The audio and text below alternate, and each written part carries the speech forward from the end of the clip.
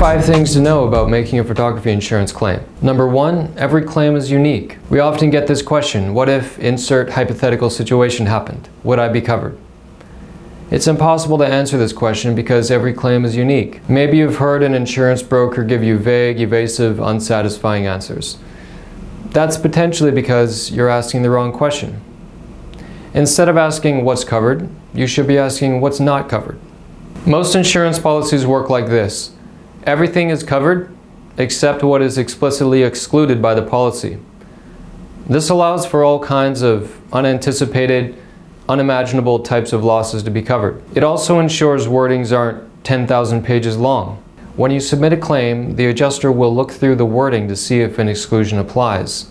Some typical exclusions are wear and tear, mechanical breakdown, and fungus. Number two, there can be many ways to prove ownership, not just receipts. Lots of people buy camera gear secondhand. Claims adjusters are aware of this fact. If you don't have original receipts, don't panic you can still cover the gear with your insurance. Proof of ownership can take different forms depending on the loss.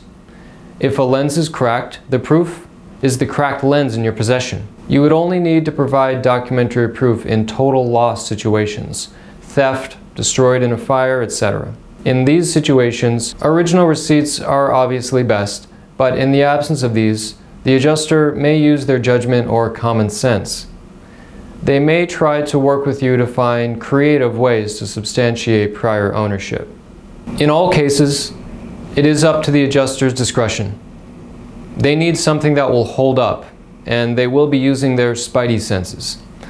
If they think something is suspicious, they will ask for more concrete evidence and they may decline a claim.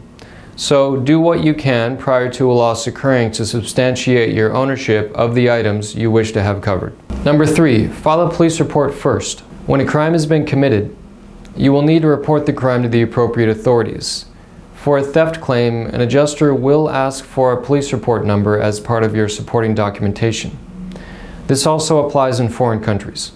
There are also special conditions related to theft from an unattended vehicle. There must be visible signs of forced entry. Basically, the insurance company is saying, if you leave your gear in your car, make sure you lock your car. They will need visible evidence that someone had to pry their way into your vehicle. So take photos of the broken glass or the scratches on your car. Without visible evidence of forced entry, your claim could be denied. The insurance company's policy wording on unattended unlocked property reads as follows. We will cover theft of covered property from a locked container, vehicle, or trailer when there are visible signs of forced entry. This exclusion does not apply while covered property is in the care or custody of a common carrier. Number four, there will be a deductible. A deductible is the amount of the loss that you are responsible for covering before the insurance policy will respond. Say you have a USB drive stolen. Replacing it would cost $60, but your deductible is $350. Although technically the claim would be covered, it is below your deductible. So the insurance company wouldn't be responsible for paying any part of the claim. If you damage a $500 lens, you would pay for the first $350 your deductible, then the insurance company will cover the next $150. After you've made a claim, an insurance company will generally increase your rates. There is no one claim forgiveness.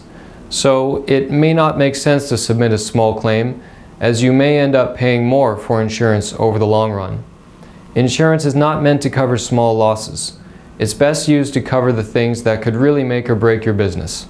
Number five, you can still withdraw a claim after you've reported it. The only person who can give you a definitive answer to the question, is it covered, is a claims adjuster. In order to speak to an adjuster, you will need to report the claim to the insurance company. The adjuster will then review what happened and the supporting documentation and advise whether coverage can be provided. Once you have a clear answer, you can either decide to proceed with the claim or to withdraw it. Don't be afraid to open a claim and talk to an adjuster. Get photography insurance in Canada.